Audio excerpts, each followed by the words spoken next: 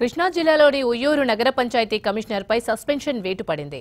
Bank ఎదుట చెత్త వేసిన ఘటనపై సీరియస్ అయిన ప్రభుత్వం కమిషనర్ ఎన్ ప్రకాష్ రావును సస్పెండ్ చేసింది. మరోవైపు ఈ ఘటనపై విజయవాడ మచిలీపట్నం కమిషనర్లను వివరణ కోరారు మున్సిపల్ శాఖ కమిషనర్.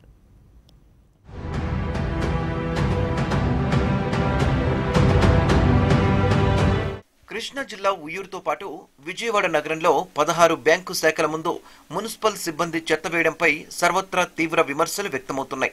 ప్రభుత్వం ప్రవేశపెట్టిన సంక్షేమ పథకాలకు రుణాలు ఇవ్వడానికి కొన్ని బ్యాంకులు ముందుకు రావడం లేదని దీనికి నిరసనగా మున్సిపల్ అధికారులు ఈ చర్యలకు పాల్పడ్డారు. ఉయ్యూరు నగర పంచాయతీ కమిషనర్ ప్రకాశ్ రావు అయితే ఒక అడుగు ముందుకేసి పీఎం స్వానిధి జగనన్న తోడు వైఎస్ఆర్ చేయుత పథకాలకు రుణాలు ఇవ్వనందుకు నిరసనగా ఈ విధంగా చెత్తను వేసినట్టుగా బ్యాంకు గేట్లకు ప్రత్యేకంగా తన పేరుతో బోర్డులు పెట్టించారు.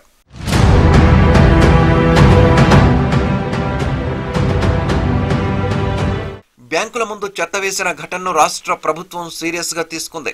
ఉయ్యూరు కమిషనర్ ప్రకాష్ రావును సస్పెండ్ చేసింది. ఈ మేరకు పురపాలక శాఖ కమిషనర్ విజయ్ కుమార్ ఉత్తర్వులు జారీ చేశారు.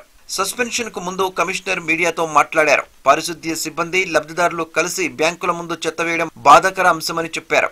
ఇలాంటి ఘటనలు పునరావృతం కాకుండా చూస్తామని ఈ విషయంలో బ్యాంక్ అధికారులు సిబ్బంది మనోభావాలు దెబ్బతిని ఉంటే తాను క్షమాపణ కోరుతున్నానని చెప్పారు.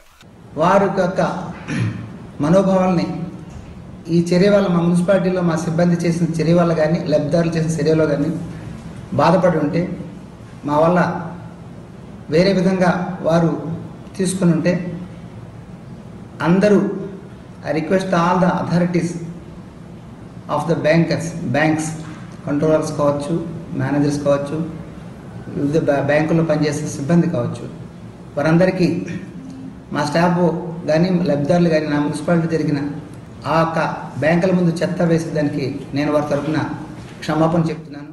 అయితే ప్రకాష్ రావు క్షమాపణ చెప్పిన కొద్ది నిమిషాల వ్యవధిలోనే ఆయన్ను ప్రభుత్వం సస్పెండ్ చేయడం గమనార్హం. మరోవైపు ఈ తరహా ఘటనపై మచిలీపట్నం విజయవాడ మున్సిపల్ కార్పొరేషన్ కమిషనర్లను ప్రభుత్వం వివరణ కోరింది.